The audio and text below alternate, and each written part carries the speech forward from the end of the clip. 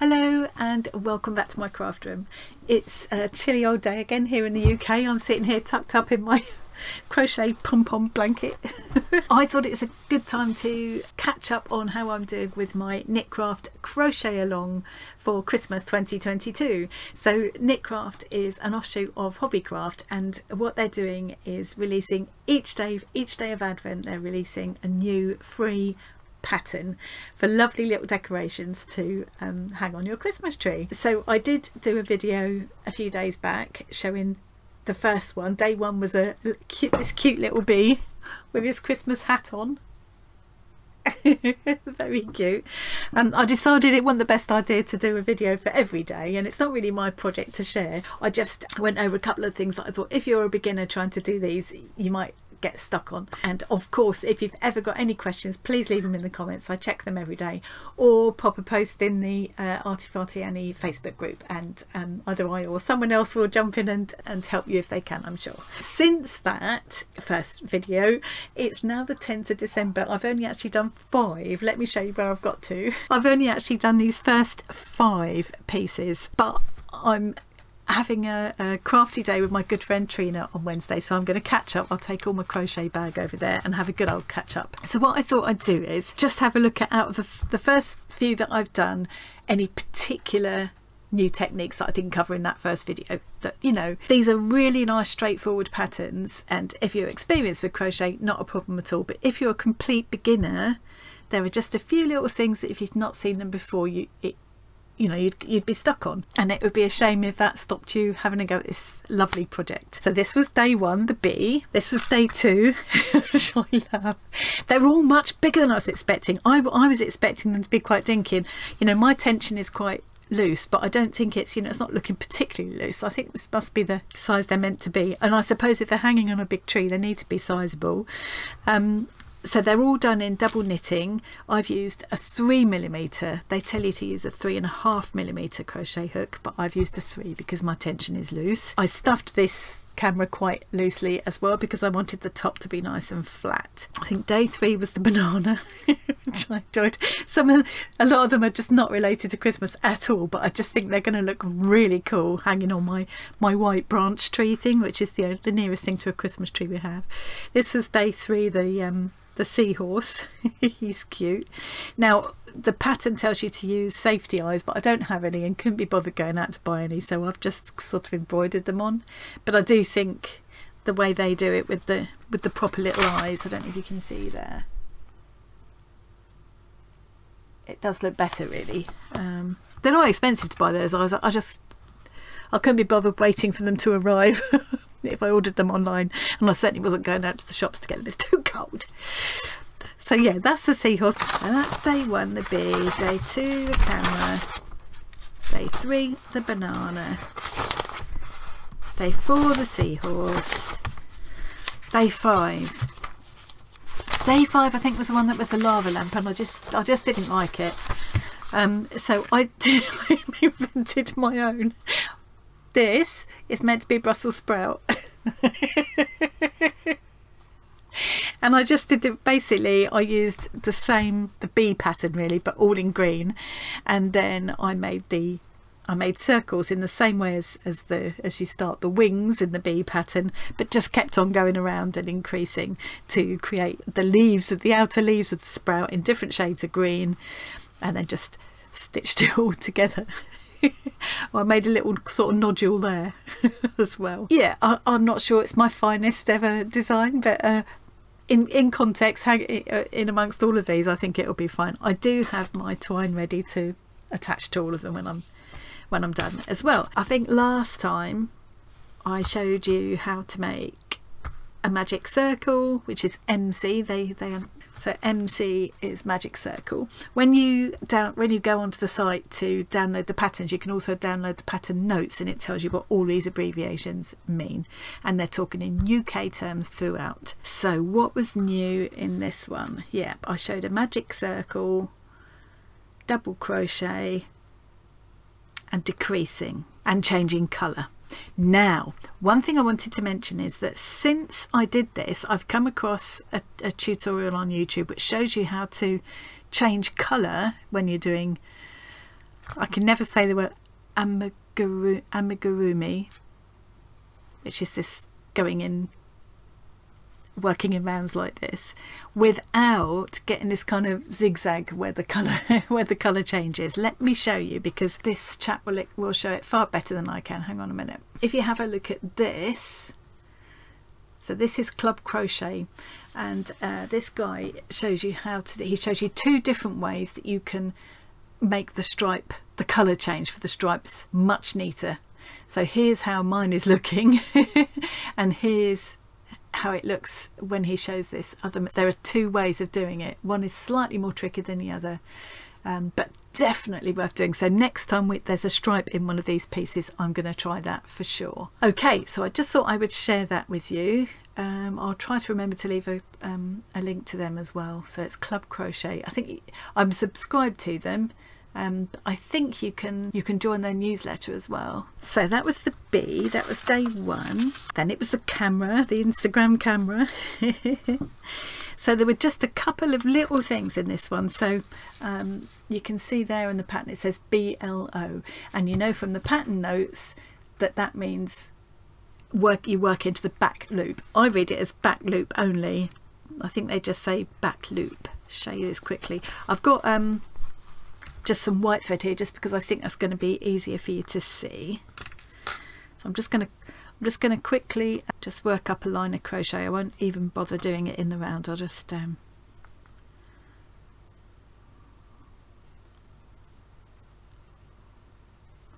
just want a little short stretch of double crochet so I can just show you what they mean when they say back loop only. I'm just working some double crochets in here. I'm really looking forward to my my day with Trina on Wednesday. We're getting together to uh, just before Christmas. We're going to go out, have a little walk to a nearby restaurant, have lunch out. I spend the rest of the day doing a bit of crafting. so this will be perfect to take with me. Okay, so I've got this line of double crochet now.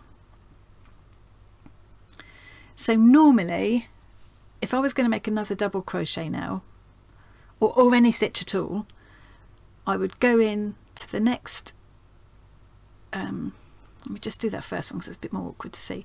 I'd go into the next stitch, I'd go in here. So if I look at it from the top, you can see all those little V's, interlocking V's lined up. You'd normally go under both arms of that V, yarn around the hook and pull it through to start your stitch. When they say BLO, or what I think of as back loop only, you don't go through both of those, you go through the one at the back. So it's this only under that, you skip that first arm of the V and you just go under the back one. There we go, you just go under there. And this is something I use a lot because if you keep if every row if you go only in the back loop you end up getting a kind of fake almost like a rib. So there we go. I've gone in the back loop only all the way along there now. And sometimes it's to give it kind of gives a a line. You can see there where it makes it makes it fold back like that and it leaves this kind of ridge there of the loops that you're not going into.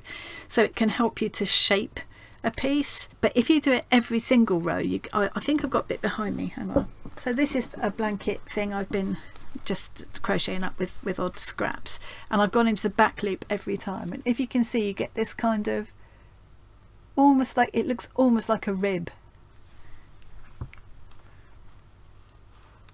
it's got a stretch to it and a, and a thickness to it. So I love using it to make like um if, if you make a tube of it you can make like a like a cowl kind of thing. Because uh, it's it's just it just sort of stretches to fit. It's nice for things like um, leg warmers and stuff like that as well. But in this case they were using it to now where was it? I think it was here. That's right. So um, you can see that line where um, you've, you've we started off with the base and then and then just worked into the back loop and it creates that kind of line. So it sort of helps to shape the bottom of the camera there. So in, in this case they've used it for more for shaping. Now another thing they did if I carry on with this little piece I'm going to do one more row quickly work up this row so we've got enough to to show you what this um, this next little technique is what I mean about these, it doesn't, you know, it, it, like I said before, it's not, it's not my project to share, so I'm not going to sort of show you the, the whole thing. I just think that because, you know, the patterns are actually quite quick to do, they're quite simple to follow, but if you've never followed a pattern before and um, if you're relatively new to crochet, although it's probably not beyond you at all, it might put you off if you're not sure what what certain terms mean. Okay, so I've got myself a little bit of, of double, a few lines of double crochet there. Looks a bit funny because I changed it over and started going just into the back loop halfway through that row, but that won't matter for this. Okay, so where they've got, for the top of the camera, so for this, this piece, ignore that, that was done separately, this piece here that goes on the top. So what they've done is they've done a row of chain. They've done 19 I haven't done that many because I, don't need to just to sort of demonstrate this. Um, and then they've done another three or four rows of, of double crochet. And then they're saying you'll now work in a continuous round. You won't need to turn your work. So this so up to this point we've we've turned. So I usually I tend to do my turning crochet before I turn or you can turn and then do it doesn't I don't think it really matters. So we're turning our work and working all the way along the row doing double crochet. If you ever get lost like this and you think oh where am I supposed to be going? Just keep turning it back so you can see that V. And you're going under both arms of the V unless it's telling you to go back loop only. Okay so now what they're telling me is instead of turning my work again I now won't need to turn um, so I'm not going to turn and start working this way. I'm going to I'm going to stop here. And then for work, row five, what it's saying is you're working around all four sides of the rectangle. So instead of turning and working back along this way, I'm going to work around here, around here, around here and back up here again but what we're going to do first is put a double crochet in the same stitch for a corner. And that counts as a two double crochet corner. So that stitch that I've just gone in there the last one in that row was was here. I'll take that one back a minute. So I've gone into there to make my last stitch I'm now going to go back into that stitch again and do another double crochet and that makes a corner. So it's already starting to turn the corner because you've got more than one in the same hole. So this is the bit that I thought if you've not done it before you might think what? Um, now how do they word it? Then three double crochet down the side edge. So you've just got to pick up evenly along here. It's not always obvious where you need to go but I want to fit three double crochet in here. So I'll probably go in here in here and in here.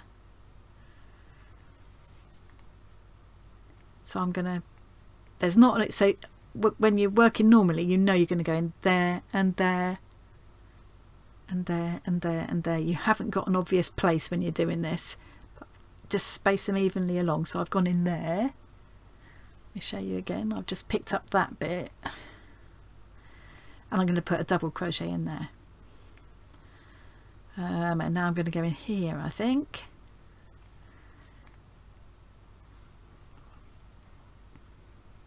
And then I'm going to go in that last bit there. So I've done my two I did my two into, into the one stitch there. Then I've done one two three double crochet along the side. And then I'm putting two double crochet in the corner again. Two.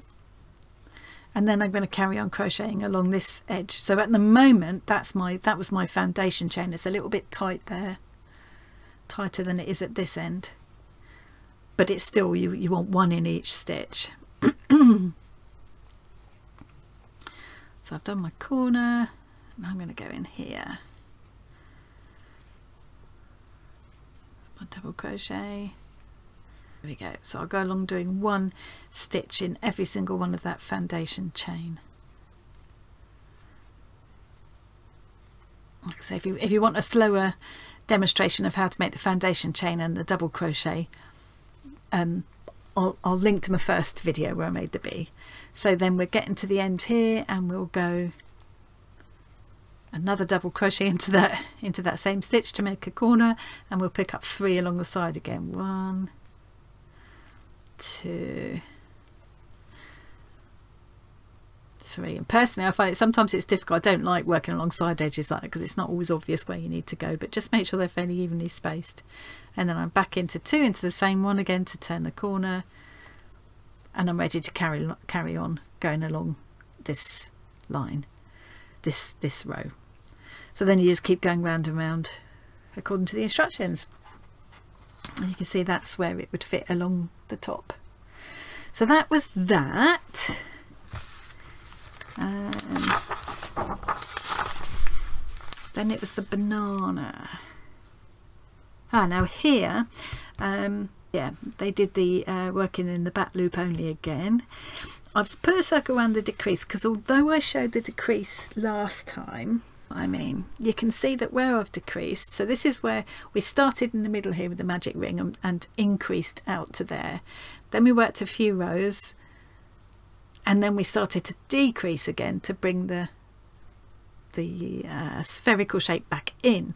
And you can see it does kind of leave a little bit of a hole sometimes especially um, if you've got a bit loose loose tension like me and you're putting stuffing in there you know um, and you can see there on the banana as well where I've decreased into to bring this shape up. I don't think it mattered for, for the banana. I, I quite like the, it looking like that but I did have a look and I found a tutorial online that shows you an alternative way of decreasing.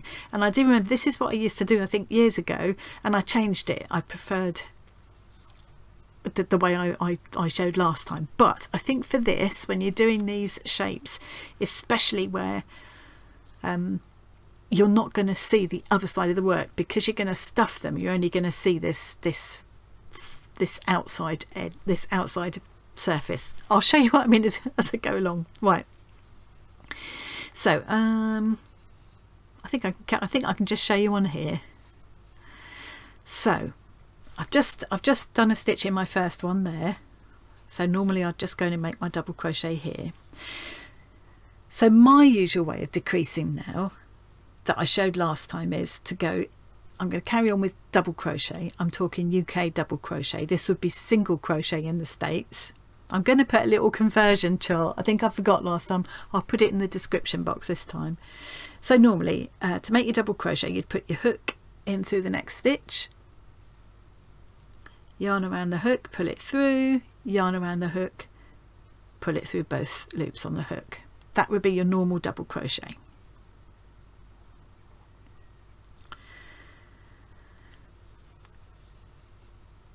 The way I showed decreasing last time I want to make basically these next two stitches I want them to come one.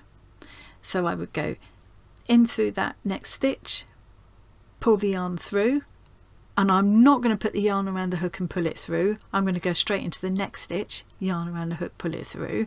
So I've got three on the hook.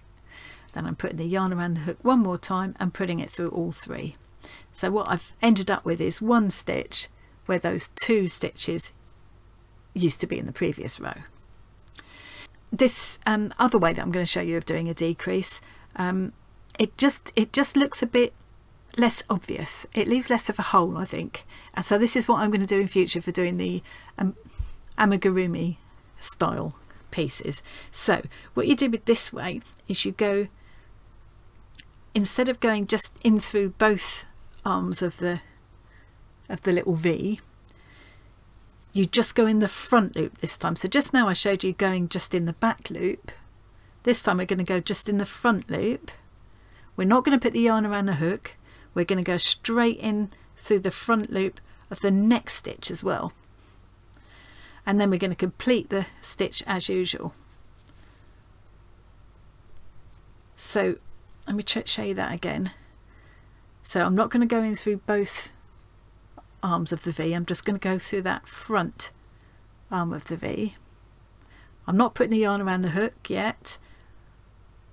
I'm picking up the front loop of the V at the next stitch as well. And now I'm going to carry on and complete as normal. Yarn around the hook pull it through both those first two loops. Yarn around the hook again pull it through both loops on the hook. And it just makes a tidier decrease I think. So the only thing is that it does if you look then at the back of the work it does leave because you've only gone through that front loop it does leave that back loop showing on the other side of the work. But that's not going to matter when it's on a, a piece that you're going to stuff like this because that will be all on the inside that you won't see. So it's up to you what you like the look of. I just think it will be a little bit tidier. I will try it in my next few pieces and decide which I prefer next time I'll show you a comparison and, you, and you'll be able to see properly so that was day three uh, day four was my seahorse. Um, so something. Oh yes, there is something new on this. They were also using half treble, treble, and double treble. So I thought I'd quickly show you them. So this time they've they've done a magic circle again. So I did show this last time, but this is how I start a magic circle. Okay, so I'm laying the, the yarn over my two fingers there, underneath, bring it back up over the top to make an X shape, not too tight. And then I'm going under there, over there and pulling my working yarn, twisting it as I pull it up, pulling my working yarn through that loop. Again, I probably showed that more times and more carefully on the first video, so just, just check out that one if you're not sure that magic circle, or magic ring I always call it. And then to finish my magic ring, I'm just going to yarn around the hook and pull it through that loop. There we go, so that's my magic ring. Now I'm going to work my stitches over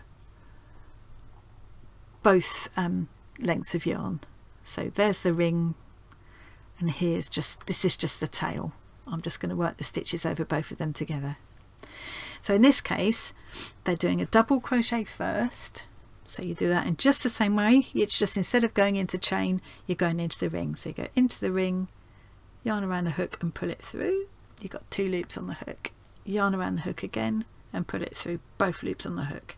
That's a double crochet. In UK terms, single crochet in the States. so now we're going to do a half treble. So for the half treble, that would be a half double in the States. Yarn around the hook before you go in through the magic ring. In through the magic ring, yarn around the hook again and pull it through. You've now got three loops on the hook. Yarn around the hook and pull it through all three loops on the hook. I've got that tangled up now. Hang on. Yarn around the hook, pull it through all three loops on the hook. There we go. So the half treble is just a little bit higher than the double treble. So what they're this is to make the fin, so they're aiming to make a shape, you know, a gradually rounded shape. So the next one is a treble, which is a bit higher still. So for this one again, yarn around the hook before you go into the ring. Go into the ring, yarn around the hook and pull it through. So now you've got three loops on the hook yarn around the hook again and this time just pull it through those first two loops on the hook and then yarn around again one last time and pull it through those last two hoops on the hook so you can see that that's gradually sloping up so you've got a double stitch a half treble and a treble if you're in the States you've got a single uh, a half double and a double now the next one it says DTR. Now again if you download the pattern notes um, it will tell you what all these abbreviations are. DTR double treble. So this time before I go into the magic ring I'm going to put the yarn around my hook twice. One, two. two times around the hook. And then I'm going to go into my magic ring yarn around the hook again and pull it through. So now I've got four loops on my hook. Yarn around the hook again. Pull it through just the first two loops on the hook. Yarn around the hook again. Pull it through the next two loops on the hook. Yarn around the hook again. Pull it through the last two loops on the hook. And that's my double treble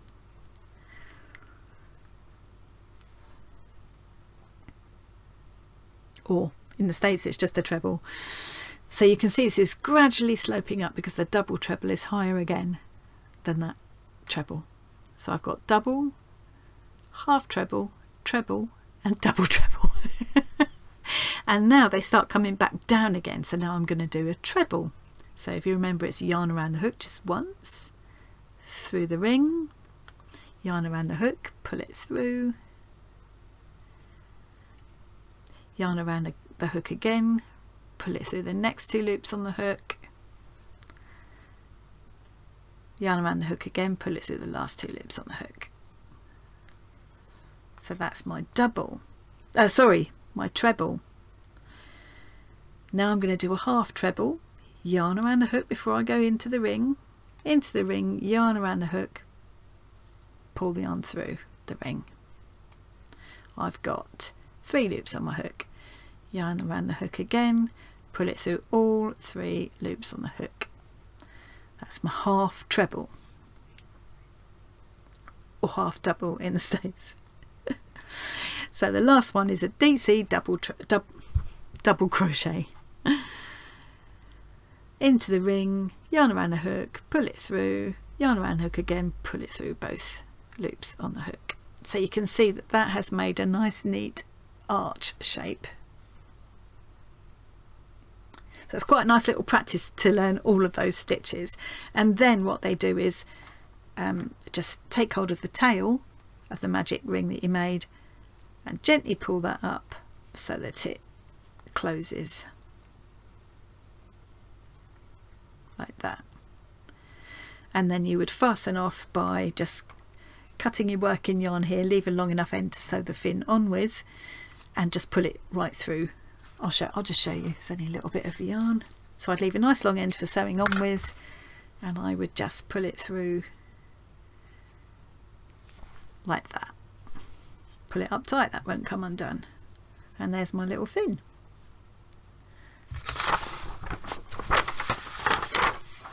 Day six is sushi. I haven't done that yet. So yeah so they're all the ones um, I've got to show you at the moment. Um, so I've got I've got sushi, mermaid. As I say, they're not particularly Christmassy. Um, there's a couple of others that I don't particularly fancy that I might change as I go along and do something completely different or just adapt a little bit, but I quite fancy doing a mermaid. I think if there wasn't already an angel somewhere else in the along the line, I might have made an, an, angel instead. I love this one, the little mini jumper. How cute is that? There's going to be some different techniques in there probably. But I don't think anything, like I say, none of this is really beyond an adventurous beginner. But you just need a little bit of guidance for how to how to do some of these things. And sometimes with these crochet alongs, you'll get they provide YouTube tutorials um, to go with them, and I don't think they have in this case, which is why I thought, well, I might as well share what I know. And as I say, if there's anything else you're stuck on just give us a shout. Now this one is another one I might change so it's it's the watering can one. I think I'm going to make it in I'm going to adapt it a bit leave off the spout and make it into I'll make the top a bit I'll make the top look more like whipped cream I think and make it like a hot a mug of hot chocolate maybe with a flake in it. That's what I'm planning to do um, this is cute, a little Christmas star with a hat on, I like that. Um, yeah, quite nice. Same, same hat as the bee. Uh, this is a cocktail. It's a bit different. Oops. and the little donkey. Now I might find that because I used a lot of the grey that I'd got on this camera, I might find that for some of these things I won't have the colours they've got and if I have to have, you know, a pink donkey or something, I, I don't really care, that's fine with me. Um, I still think they'll be really cute. I think by next weekend we'll probably get around to getting our Christmas decorations out at last. Um, we don't put a lot up. They're mostly like handmade things painted wooden things and we don't have an actual tree as such but I did make one of those white branch things and I think these will look fantastic hanging off of that. So and um, right at the end I will put on maybe on um, Christmas Eve I'll, I'll post a photo of all of my pieces hanging on the hanging on the branches. That would be nice. Okay well I hope you found that useful. I will leave links to the Knitcraft Hobbycraft crochet along. Uh, they've got lots of other inspiring ideas and uh, patterns on. I just think it's brilliant that these patterns are free. Um, obviously they're hoping you're going to buy the the wool from them and you know their wool is it's a good price and everything. It's just that I happen to have my own wool to use. Um, and some of them you only need tiny scraps of, of each colour. So uh, yeah so check that out. Uh, it's it's a it's a lovely project a really fun project. And please do ask if you've got any questions at all please do ask and I'll do my very best to help you. If you have a go at this uh, please do think about sharing some pictures on the Annie group on Facebook. I'll leave a link to that as well. You could also post if you've got any problems with anything you could also post that on there and either um, I'll try and help you I'm sure someone else will jump in and help as well. Um, I think that's it from me. Thank you very much for joining me today, and I'll see you again really soon. Bye.